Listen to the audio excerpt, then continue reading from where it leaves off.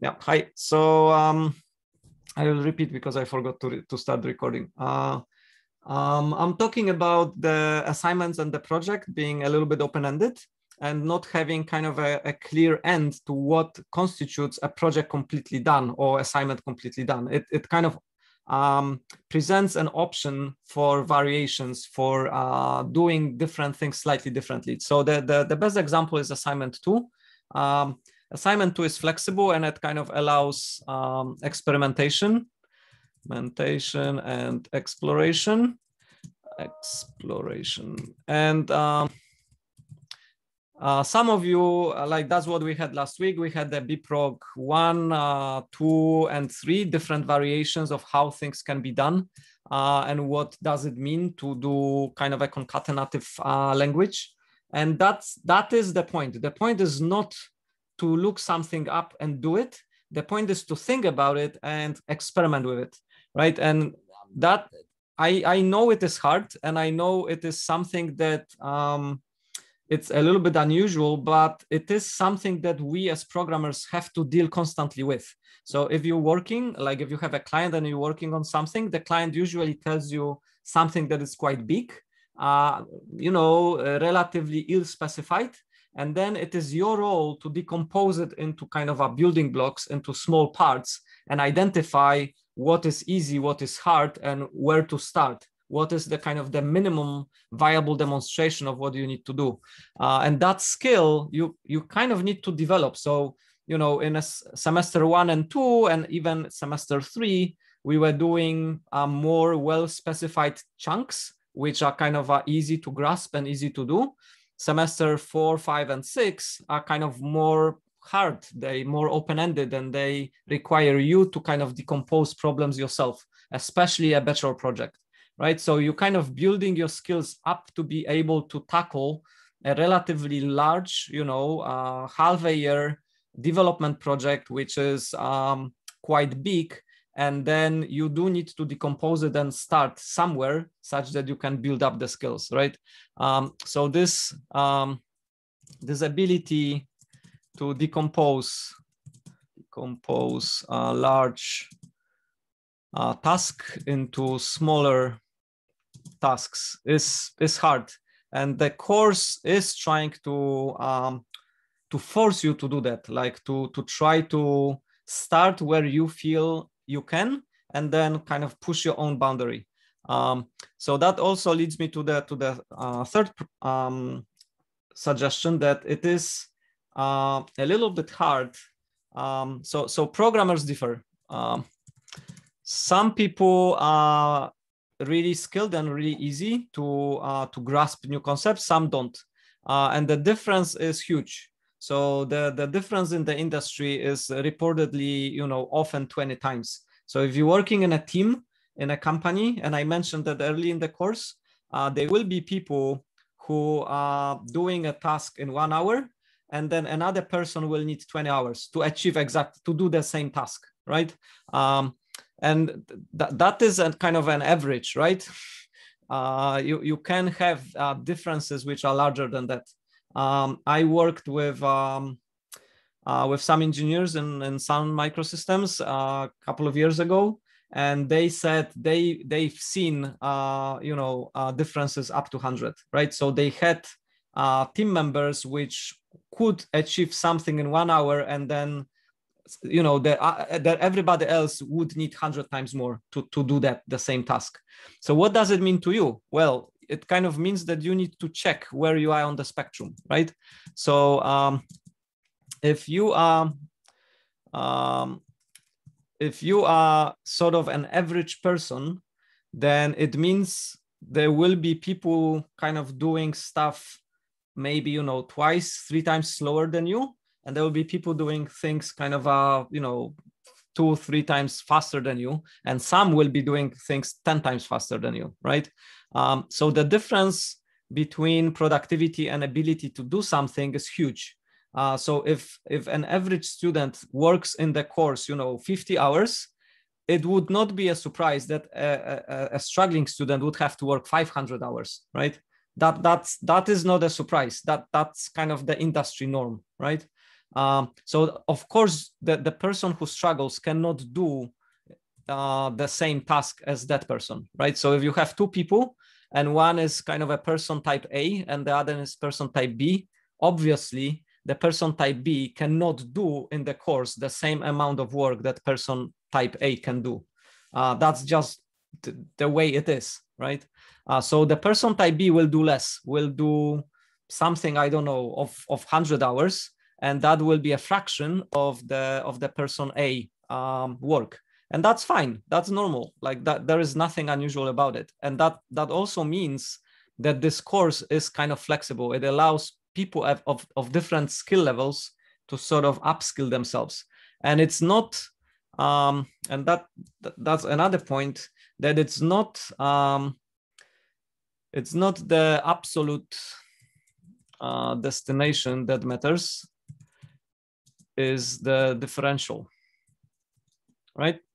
So if you are it's kind of leveling up what, what matters. So you kind of have a semester and you're starting at, at certain level. So you know you have some base baseline and then you're using the time to kind of upskill uh, and the upskilling kind of matters. And that's why the portfolio is kind of not graded um, like you know assignment one assignment two and project are not graded kind of linearly. They they are kind of graded as a portfolio and they kind of check how much progress you've made. Like what is the difference between you at the beginning of the semester and that you know where you are at the end of the semester?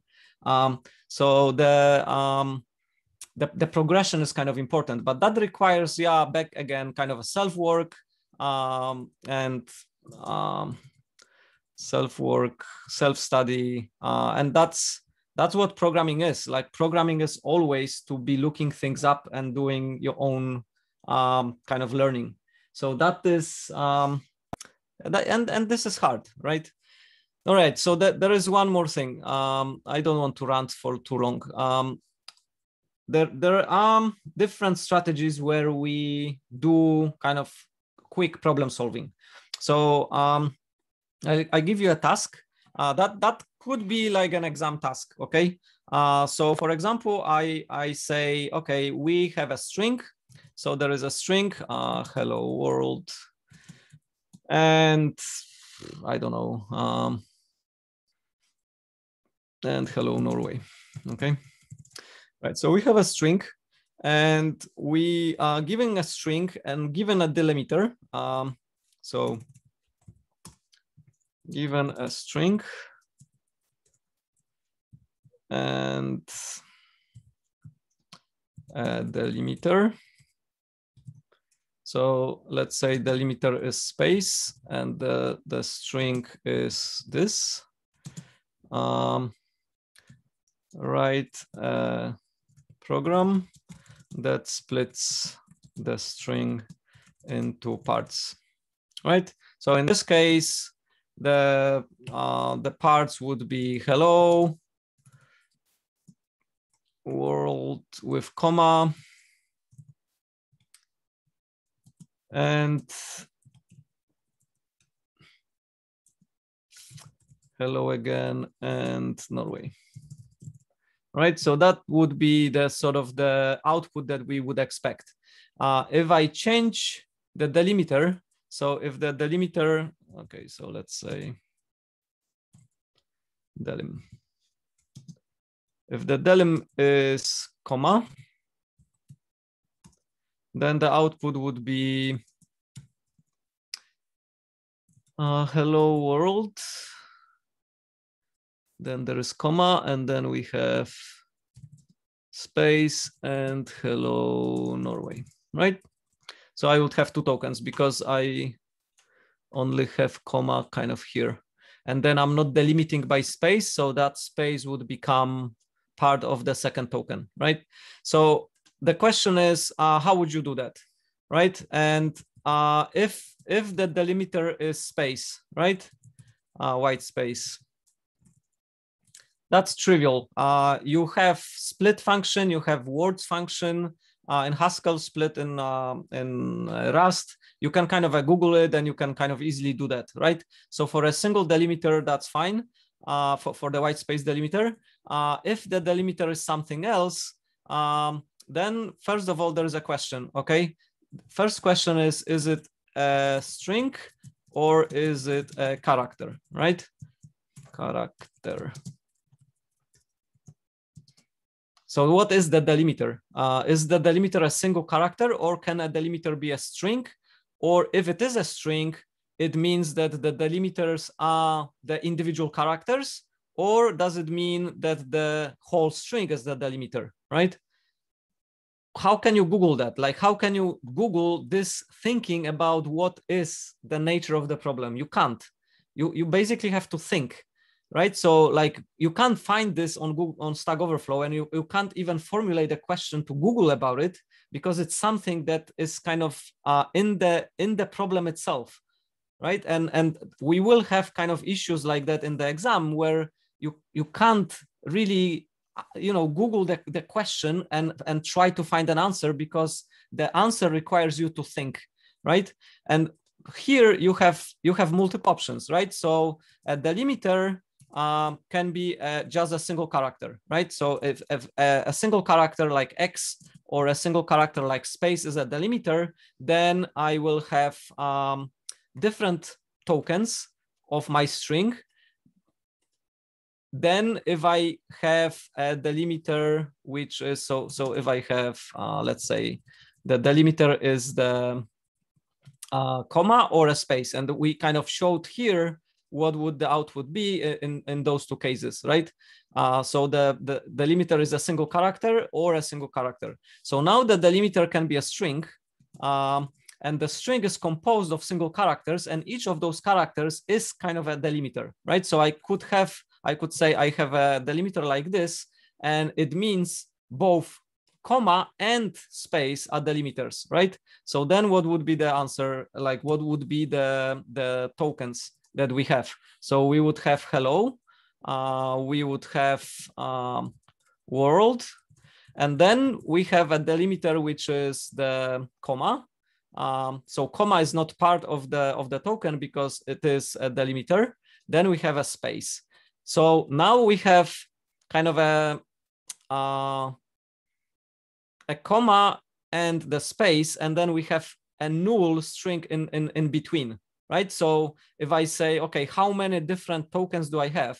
Then I have to ask a question, okay, what do I do with the empty, empty tokens? Do I ignore them or do I report them, right? So one solution is that you, we, you kind of report an empty token, which is between the, the comma and the space, which are both delimiters, but you don't have anything in, in between, right? Uh, or that's, and, and then you carry on with, with the processing or you have uh, hello world, and then you ignore the middle, right? So if there is a, a, null token between the two delimiters, you just say, okay, I mean, if it's empty, I, I don't care, right? And then you would have end, right? So here you would have end here, and then you would have hello. Here you would have end and hello, right? And you kind of ignored the middle, the middle part, right? Why does it matter? Well, it, it matters. It matters a lot because if I have um, if, if I have comma separated value file, right? And I have a line which is like this, um, let's say Mariusz uh, 40, um, I don't know, NTNU. And then I'm processing line, line by line and I'm producing kind of um, the, uh, the tokens. So uh, let's let's shorten it so I have less typing. So I would have something like M um, 40, 40 and N um, for this line. And then if I have another line, which is like A comma, comma B, then I would expect that I would have A empty I and um, B, right? Because I like if my comma separated values are kind of separated by by uh, my by my uh, separator and my separator again is um, is both uh, comma and space then I have kind of a three tokens here and I would expect three tokens here with the middle one being an empty empty token right so this decision what you do with empty things and this decision how you're dealing with the delimiter uh, kind of matters and there is a final one um, so a delimit can be a string, but it is not. Um, so here it is um, collection of individual delimiters, right? So here I have two delimiters, which is a comma and a space. And here I have um, single string delimit, delimiter, right? So if I say my delimiter is comma space, right? Uh, then it kind of is a difference between this being the delimiter and here being no delimiters because I don't have a comma space uh, anywhere in my string, right? So here, if I do that, I have um, this just one token and here I have three tokens, right? Uh, because the I have one delimiter and I have another delimiter. You get the point? So, and it's not that the stakeholder will tell you all of this. This is not the stakeholder uh, task to understand that this simple problem of giving a string and a delimiter uh, produce the tokens um, all this nuance, all these kind of questions and all these uh, assumptions are kind of your task. That, that's what you need to do. You need to ask, okay, what does it mean? And then if it's an open-ended pro problem, you may need to make certain assumptions, right? So you may say, okay, uh, that's what programming languages uh, designers do. Like they make assumptions, what is the API and how does it work? Most of the time, uh, when they do this, they mean the, the the middle, right? So they will accept a string as the delimiter and they the collection of those uh, um, those individual characters are treated as uh, delimiters, but um, it kind of varies. For example, with the case of white space, usually we don't want, um, like if I have, so again, let's do this here. If I have a string which says uh, hello, space space world, right? How many tokens? If I'm doing um, if I'm doing split with space, uh, how many tokens should I get back? Should I should I get back two tokens, which is this one and this one, or should I get three tokens with the middle being the empty empty token because th there is a delimiter and there is a delimiter, but there is kind of nothing in between the two delimiters. So the answer is okay. You could get two, or you could get three. Um, or three, right? Uh, with the with the middle um, being empty, an empty token.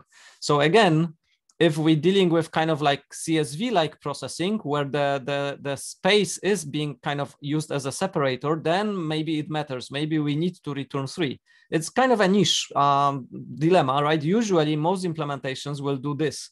So the default Rust and Haskell implementations basically do this they kind of uh, don't report the empty tokens between the white space separators because most of the time it doesn't make sense. But you could imagine a comma separated value file where instead of comma, you did use a space as a delimiter, and then you may want to be to, to know that the, there is an empty thing here, right? Okay, so that, that is kind of a long rant, but what what I what it is all about is that this thing is non, not Googleable. You can't Google it, right? You just have to sit and think about it. You have to sit and check, okay, how is Haskell doing it? How is Rust doing it? What does it mean? What does it mean to have a string delimiter? What do I really want to do? Do I want to get um, the, um, the, the empty values out of my processing or not? And so on. And this is like, again, this is hard because this requires thinking this requires kind of application of what you already have in your kind of a programming workshop in your programming kind of head uh, and think about the problem in such a way that it sort of makes sense. And some of you are doing that. Some of you did great, like with the assignment two. Um, but some people are still in the mindset that you can basically Google for a solution and just um, do it, right? Like uh, from uh, finding the solution. And in theory, maybe, maybe it, there is a query that you could do on Google to kind of do this analysis of, of, of this small problem of uh, parsing a string into tokens. Um, but I have, I don't know. Uh, I, th this problem is not new. I mean, this, this problem is often used as a job interview question, right? So, uh, you know, um, given a string, uh, so you, you, you know, given a, a, string and giving the delimiter, you need to produce the, the list of uh, tokens. That is often kind of a, an interview question. And then you are expected to write a program which will do that. Uh, and you not and you are expected to not use words or split uh, you are kind of expected to write your own words function, right? Um, so in Haskell, you've used words to uh, split the string into um, into individual tokens. Uh, but if if I tell you, okay, uh, we have a string, there is white space there, and I don't care if there is one or multiple, and I want those three tokens, right? So I want to get this uh, list of, uh, I don't want to type this, ABC, couple of spaces D, and I want to get uh, A, B, C, and D. Right? Can you write a function which does that yourself instead of using words? Right? Uh, well, you should be able to. It's a kind of a simple loop. Uh, you kind of uh, concatenating the, you know, the string until you hit the delimiter. Uh, then whatever you got so far becomes kind of the, the, the item of your list. Then you continue, like you continue ignoring the delimiter. Then you hit something that is not the delimiter. You start building the string and so on, right? So you can write it in Go in a kind of a very uh, functional uh, in a very uh, uh, loop-based way with kind of ma maintaining the state. Or you can think, oh yeah, I can probably try to do that with, uh, with a list in a kind of a recursive way. Um, but you do need to kind of uh, maintain sort of a state of whether you hit the delimiter yet or not. Um, and then if you hit the delimiter, you kind of recursively process the next token and kind of ignore the, the delimiter, ignore, ignore, okay. Now I'm kind of building the next token. Okay, I stopped building the next token. That becomes the kind of the element of my output list and so on, right? So you can kind of do it in a recursive way, or you can do it in a for loop. Uh, most people in an imperative world would just use a loop uh, and iterate over the, the characters of the, of the string. Um, yeah there are, there is of course some nuance because of of u2 i i didn't talk about it like of utf8 uh you know the you know what does it mean iterating over a string? Like is it byte by byte or is it uh you know uh rune by rune? Like depending which language you deal with you have to deal with utf strings which are sort of the characters are not individual bytes. But that's like separate issue. We we i i like let's call it kind of the advanced topic right um, th that, that will not be in the exam. Um, not be in the exam. Uh, although if you were to use um, something like um, Golang or, or C++ or Rust, uh, you you do need to somehow deal with the um, with the iteration of the string, such that you know you're iterating over the characters. Um, similar yeah i mean similar in haskell but that yeah i i don't want to go into into the nuances of this. Uh, I, I, let's say this is just ascii it's not a utf-8 right? Um anyway um that was kind of a long uh longish rant again about like thinking about like decomposing problem into smaller chunks and then trying to solve it like okay uh, one thing at the time so if you're giving a task which is which seems kind of hard, there are always things that it can be decomposed into, and then you can deal with that. Um, if that is too hard, you can further decompose it into something even smaller and deal with that, right? So uh, here, like this is the big problem. Like where you start? Well, you need to iterate over characters, right? So you need some form of like being able to iterate over characters. So maybe printing character by character is your first step. So you don't even uh, doing anything yet useful. You just kind of building the machinery for you to be able to solve it. Um, and this this is kind of important.